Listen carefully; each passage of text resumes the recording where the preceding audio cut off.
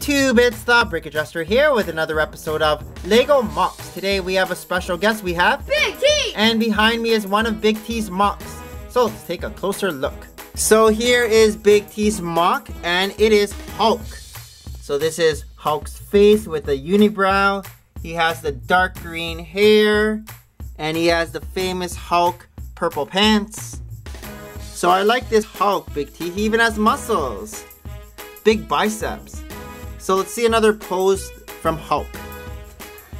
Here's another pose by Hulk, and he's flexing his biceps.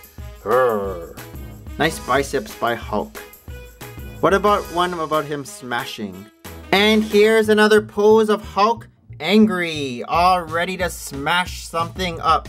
He's hulking up. He's all upset. So this concludes this episode of Lego MOCs. This is the Brick Adjuster with Signing off. Thanks for watching, and we will see you guys in another video. Bye. Bye.